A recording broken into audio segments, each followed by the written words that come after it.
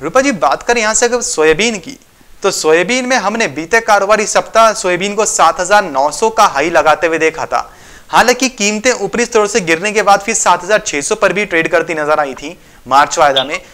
Internationally देख रहे हैं कि यूएस सोयाबीन लगातार 1600 डॉलर के ऊपर सस्टेन है।